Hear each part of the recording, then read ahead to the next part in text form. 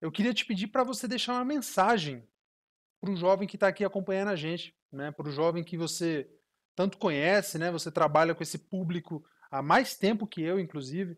É, eu queria te pedir para deixar uma mensagem especial para o jovem que está enfrentando dificuldades na vida, né? Para o cara que está em dúvida, para o cara que de repente não tem apoio em casa, para o cara que, enfim, está passando por dificuldades. Porque a gente sabe que dificuldade é da vida, né? Todos nós vamos passar por dificuldades.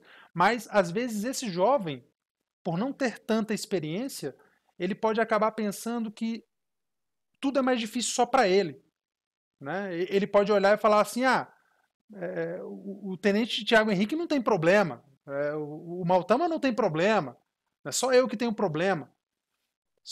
Então eu queria te pedir para deixar uma mensagem para esse jovem, né, para ele não perder a esperança dele, para ele continuar focado no objetivo dele.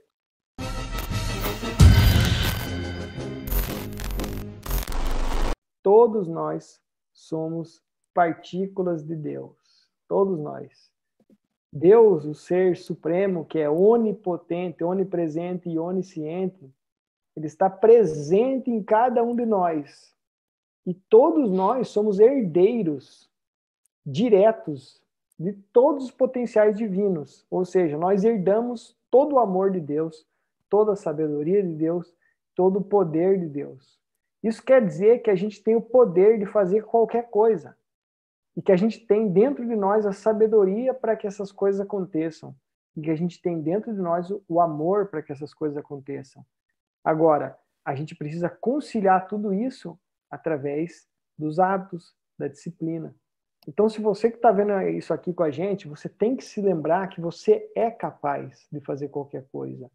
Você é capaz de superar qualquer obstáculo.